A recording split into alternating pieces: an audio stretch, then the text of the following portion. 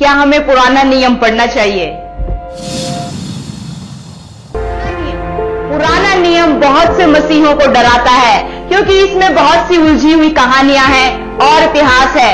तो प्रश्न भी उठता है कि क्या हम मसीहों को पुराना नियम पढ़ना चाहिए? कल मैं एक फ़िल्म देखने गई थी तो जब मैं वहाँ पहुँची तो फ़िल्म का क्लाइमेक्स चल रहा था। क्लाइमेक्स देखकर मैं कंफ्यूज हो गई कि किसने, किसको क्या कहा, कहाँ से फ़िल्म शुरू हुई और किस तरफ़ जा रही है। क्या कोई है मुझे इस फ़िल्म को समझा सके। उसी प्रकार अगर हम सिर्फ़ नया नियम पढ़ते और पुराना नहीं पढ़ते तो ये ऐसा ही है जैसे कि हम क्लाइमेक्स देख रहे हैं और शुरुआत से फ़िल्म का हमें पता ही नहीं है। तो क्यों ना हम पुराना नियम को भी उतना ही महत्व दे जितना परमेश्वर देता है। मैं आपको पुराना नियम पढ़ने के पाँच कारण बताऊँगी, जिनमें पहला है, पहला कारण है पुराना नियम प्रभु यीशु की एकमात्र बाइबल थी। पुराना नियम हमारी बाइबल में पिचहत्तर प्रतिशत जगह ले रहा है। इसका अर्थ है कि परमेश्वर की नज़र में पुराना नियम अत्यंत महत्वपूर्ण है। मती अध्याय पाँच का सत्रह इस प्रकार से कहता है, यह ना समझो कि मैं व्यवस्था या भविष्यवक्ताओं की पुस्तकों को लोप करने आया हूँ। लोप करने नहीं, परंतु पूरा करने आया हूँ। लूका अध्याय 24 का 44 इस प्रकार से कहता है फिर उसने उनसे कहा, ये मेरी वे बातें हैं जो मैंने तुम्हारे साथ रहते हुए तुमसे कही थी कि अवश्य है कि जितनी बातें मूसा और व्यवस्था और भविष्य वक्ताओं और भजनों की पुस्तकों में मेरे विषय में लिखी हैं, सब पूरी हो।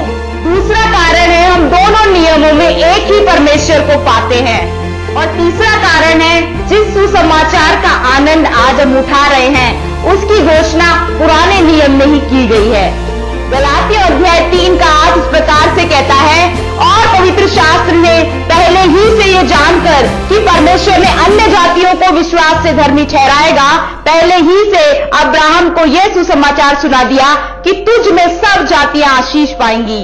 पुराने नियम में ही परमेश्वर ने अब्राहम के समय में ही वो छुटकारे की योजना तैयार कर ली थी, और उसी का जो विस्तार से वर्णन हमें पुराने नियम में मिलता है।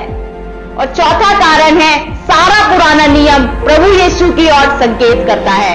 योहन्ना अध्याय एक का पैंतालीस इस प्रकार से कहता है फिलिपुस नतनियल से मिला और उससे कहा, जिसका वर्णन मूसा ने, व्यवस्था में और भविष्य वक्ताओं ने किया, वह हमको मिल गया। वह यूसुफ का पुत्र यीशु नासरी है। क्या आप पुराने नियम में यीशु को देखना चाहेंगे? योहन्ना अध्याय एक का छियालीस और सैतालीस इस प्रकार से कहता है, नतनिएल ने उससे कहा, क्या कोई अच्छी वस्तु भी नासरत से निकल सकती है? फिलिपुस ने उससे कहा, चलकर देख ले। यीशु ने नतनिएल को अपनी ओर आते देखकर उसके विषय में कहा, देखो ये सचमुच इसराइली है, इसमें कपट नहीं। और पांचवा कारण है, प्रभु यीशु व्यवस्था को पूरा करने आए। जो भविष्यवाणियाँ प्रभु यीशु मसीह के बारे में पुराने नियम में लिखी हुई थी, उन्हीं को पूरा करने के लिए प्रभु यीशु मसीह नए नियम में आए और ये बताने आए कि परमेश्वर का जो वादा है, वो प्रभाव रहित नहीं है।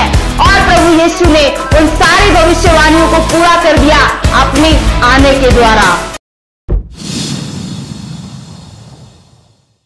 बने रहने के लिए धन्यवाद। मैं हूँ रश्मि सिंह। आशा करती हूँ संदेश आपको पसंद आया होगा। इस संदेश को अपने परिवार के सब जनों में, अपने मित्रों को बांटे ताकि उन्हें भी आशीष मिले। इस चैनल को सब्सक्राइब करें और बेल बटन क्लिक करना ना भूले ताकि ऐसे प्रेरणात्मक संदेश आपको मिलते रहे।